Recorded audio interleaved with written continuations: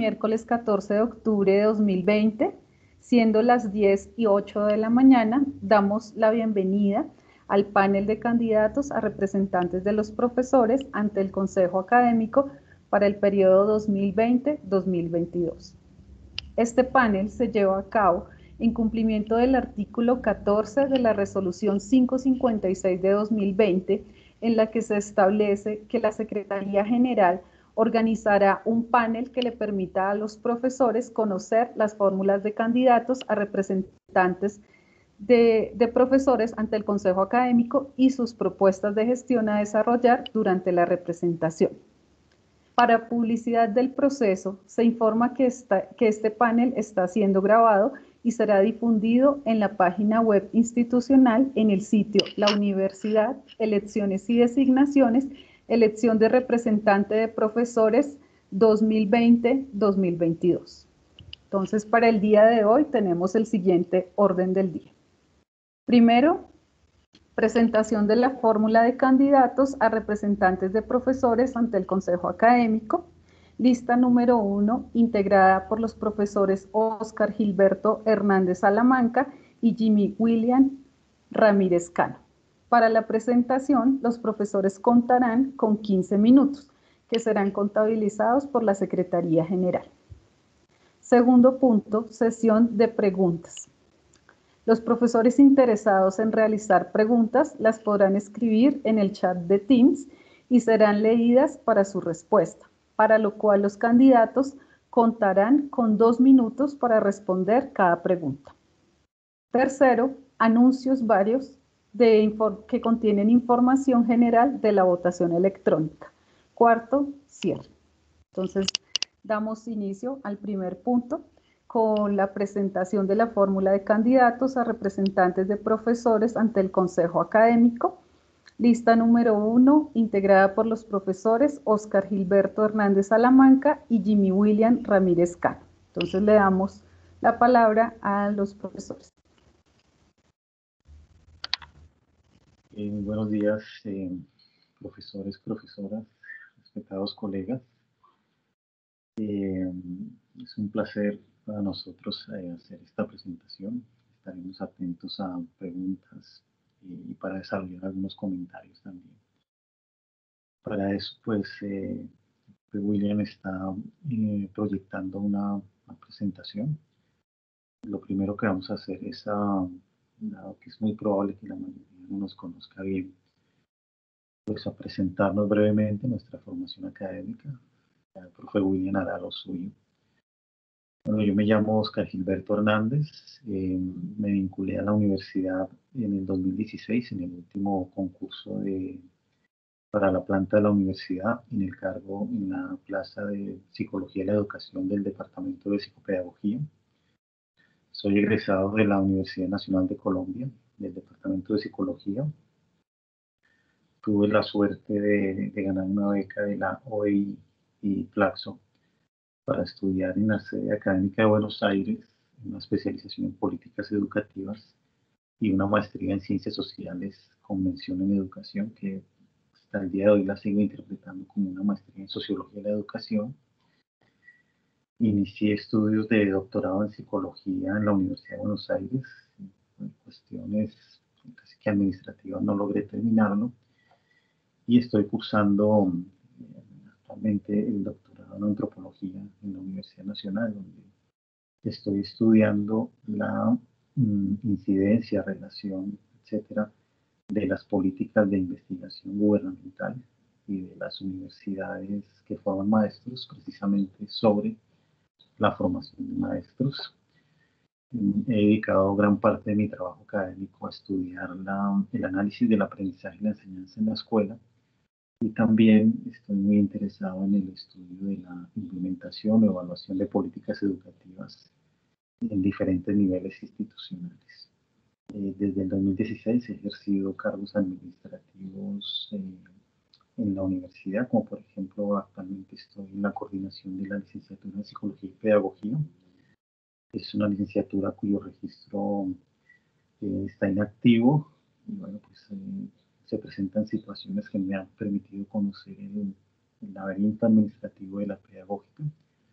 También fui representante de profesores de planta ante el CIARP, un cargo que desempeñé por corto tiempo, pero donde conocí también los detalles del trabajo de la universidad. Así que esa es mi presentación. Le doy la palabra al profe eh, William para que se presente también. Gracias, Oscar. Eh, bueno, muchas gracias. Eh, mi nombre es Jimmy William Ramírez Cano. Soy em, profesor del Departamento de Tecnología en el programa de licenciatura en electrónica desde el 2002. Yo inicié como docente de cátedra y eh, posteriormente me vinculé como, como, maestro de planta en el 2004. Eh, soy egresado de, de esta universidad, es, es, mi, alma mater. Soy licenciado en electrónica de la Universidad Pedagógica Nacional, egresé en el año de 1998 y me enfoqué inicialmente en ámbitos eh, ligados a la, a, la, disciplina de la electrónica, eh, enfocado hacia el área de las telecomunicaciones. Soy especialista en teleinformática de la Facultad de Ingeniería de la Universidad Distrital Francisco José de Caldas y eh, también realicé el magíster en Ingeniería de Telecomunicaciones de la Universidad Nacional de Colombia. Hace muy poco terminé mi doctorado en educación, en el doctorado de interinstitucional de la universidad y mi tesis fue laureada, eh, está relacionada con la formación de competencias en maestros en, formación para ciencias y tecnología y pues eh, se emplea para, para el desarrollo de estas competencias, la formación de estas competencias, una estrategia didáctica eh, vinculando el, diseño de instrumentos de laboratorio. Em, fui coordinador del grupo em, de investigación ETV-UPN, relacionado con enseñanza eh, y uso de, eh, de estrategias eh, de tecnologías de la información y la comunicación. Actualmente hago parte del grupo Alternaciencias y estoy vinculado también con el grupo ALIS, que es el vínculo de ETV y otro grupo de investigación que trabaja sobre inteligencia artificial y ayudas aumentativas. también he trabajado con el programa de maestría en docencia de las ciencias eh, naturales del Departamento de Física y es muy grato compartir este espacio y esta plancha con el profesor Oscar. Esperamos hacer un muy buen equipo y representar eh, eh, las ideas que a continuación presentaremos que representan no solamente a, los maestros de planta, sino a todos los maestros de la Universidad Pedagógica Nacional. dejo para la presentación a Oscar para que siga adelante. Gracias, Oscar. Bueno, gracias. Eh, dado que tenemos poco tiempo, pues hemos decidido leer la propuesta oficial que presentamos y seguramente vamos a ir comentándola y también si hay preguntas o alguna aclaración, pues desde luego la haremos. Bien, eh, nuestra propuesta se enmarca en el Plan de Desarrollo Institucional PDI 2020-2024, Educadora de Educadores para la Excelencia, la Paz y la Sustentabilidad Ambiental, el proyecto educativo institucional y el artículo 30 del Estatuto General de la Universidad Pedagógica Nacional, acuerdo 035-2005 del Consejo Superior, donde se definen las funciones de su consejo académico. La Universidad Pedagógica Nacional es una institución con un encargo especial, formar maestros y educadores en el contexto socio colombiano. Esto implica por lo menos tres grandes núcleos de discusión. A la pertinencia de los contenidos curriculares, B, la calidad de sus procesos de enseñanza y de aprendizaje, y C, la atención a la producción o la construcción de conocimiento. Estos núcleos están amparados por las reflexiones y las teorías provenientes de los ámbitos de la ciencia, la educación y la pedagogía.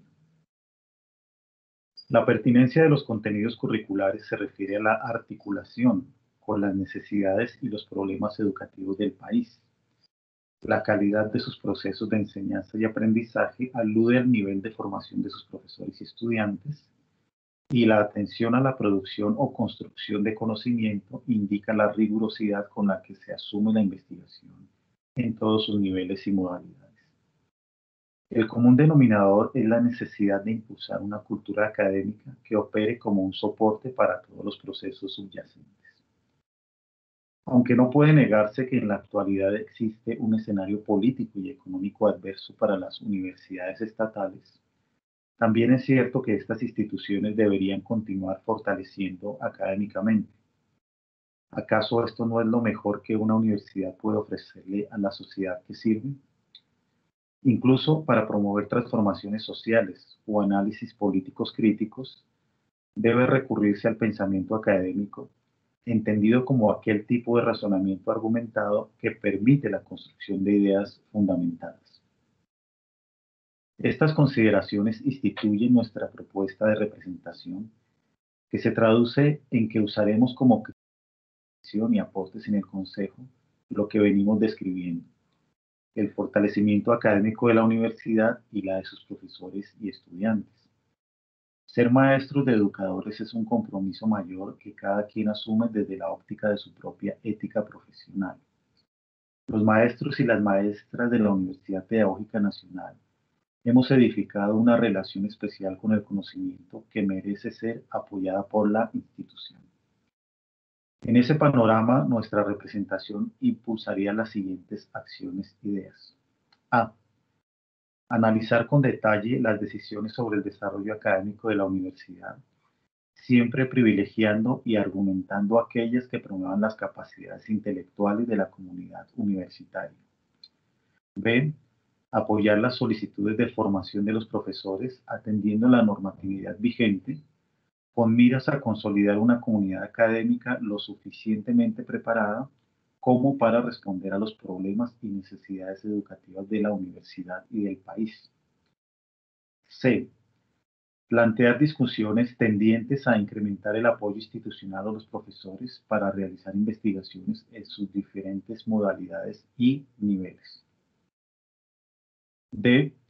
Promover el mejoramiento de los procesos de extensión universitaria, en el que los profesores de la universidad tengan más oportunidades para difundir, trasladar o aplicar el conocimiento producido o construido en su trabajo académico.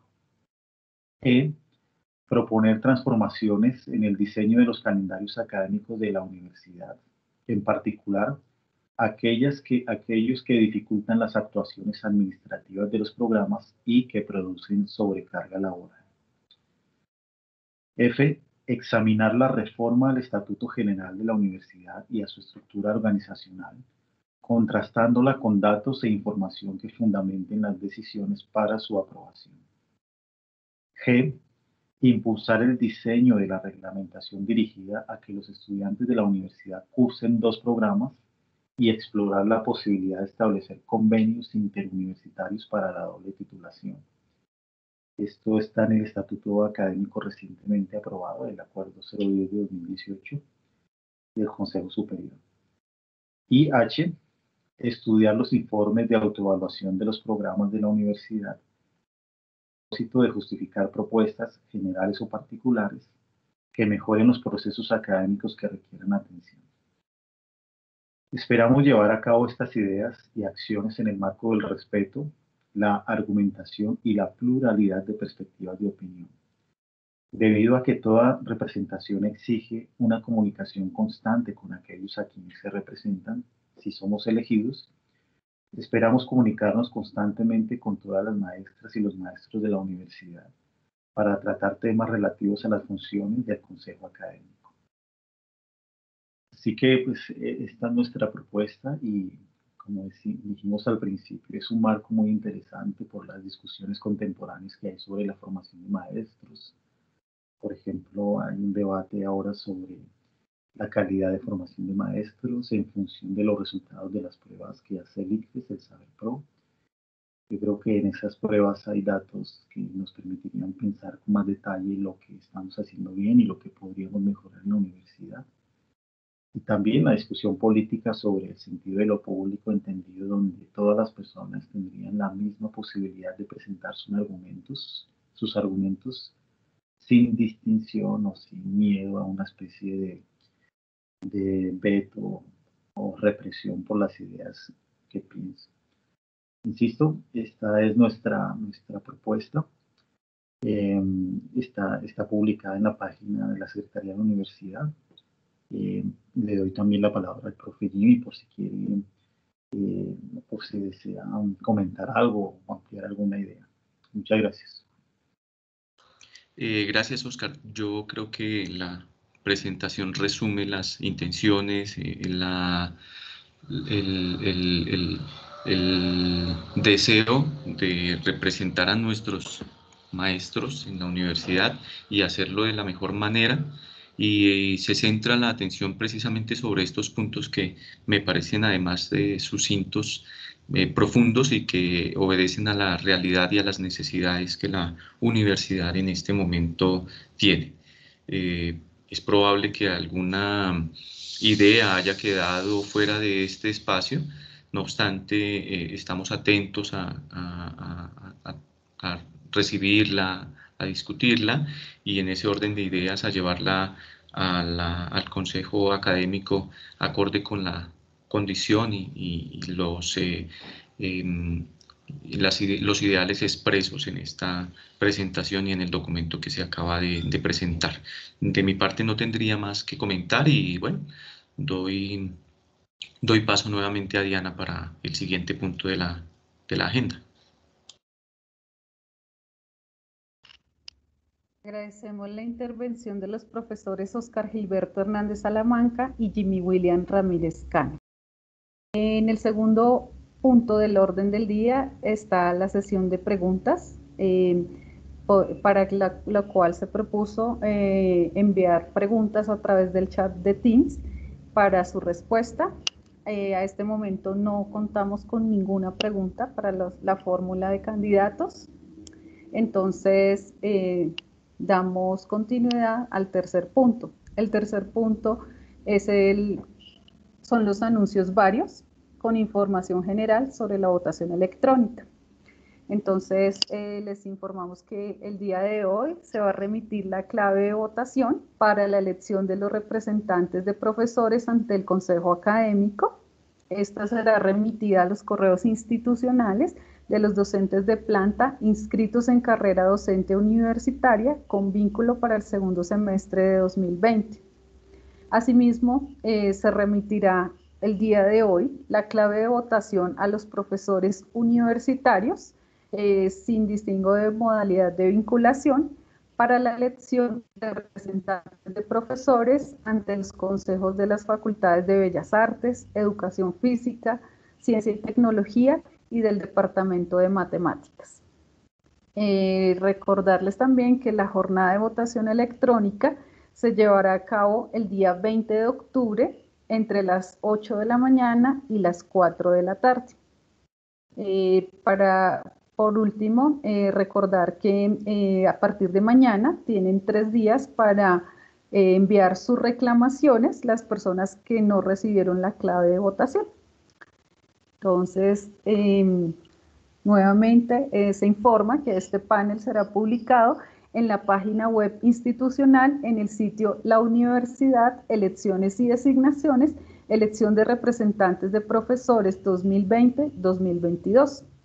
Agradecemos a los profesores Oscar Gilberto Hernández Salamanca y Jimmy William Ramírez Cano por su participación.